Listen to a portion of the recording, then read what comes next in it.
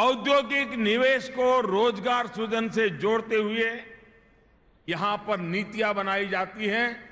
Textile, electronics manufacturing, information technology, tourism, renewable power self employment जैसे अनेक क्षेत्रों के लिए अनेक दूरगामी प्रभाव पैदा करने वाली नीतियाँ बनाई गई हैं।